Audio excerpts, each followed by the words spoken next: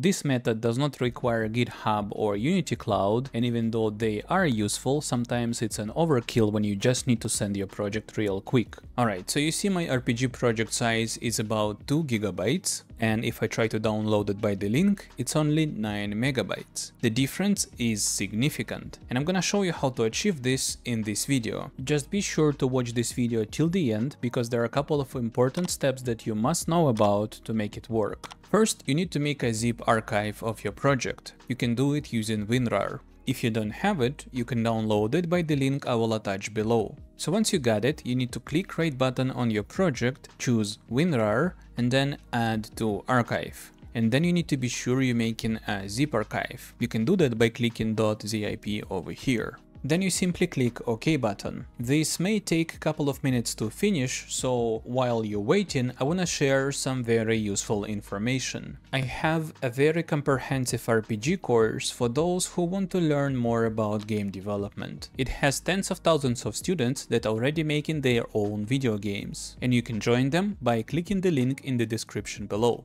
Now, once creation of archive is finished and you open it, you will see a license window that you can simply ignore, well, unless you want to support creators of the software. Then you need to go ahead and find library folder. This folder basically contains cache and data files that Unity needs to make everything work. And as you can see, it takes most of the space in the project. The good thing is, if you delete it, Unity will download those files when you try to open your project next time. That means it is completely safe to delete this folder before you send your project. And if you're afraid it will break something in your game, don't worry, you have original project here and project you're modifying is in this archive, so you are good in any case. Now very important disclaimer, hear me out, when you just open the project after this, it may look empty. Don't panic, you did not delete anything important. You just go to scene and open sample scene that you had, and then you're gonna use your project same as before.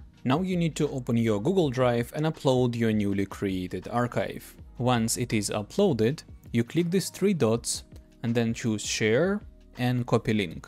And now comes the step I was talking about, so please pay attention. In the corner you will have a pop-up window. You need to click it and you need to make sure you make it available for anyone with the link. Otherwise, people will have to request access to your file and you will need to grant access in your Gmail, which is very annoying for both sides. Now you can easily send your links and don't forget to check link to the RPG course in the description below. If you found this info useful, consider subscribing to the channel and I wanna say thanks to my Patreons and give special thanks to Siramo89 and Gianni Maroni. Thanks to you guys these videos are possible.